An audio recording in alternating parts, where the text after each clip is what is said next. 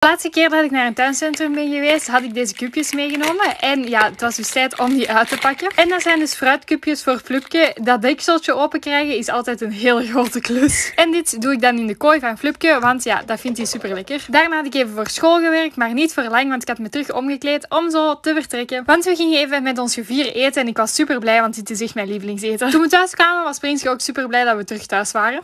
Dikke knuffel geven. Oké, bye!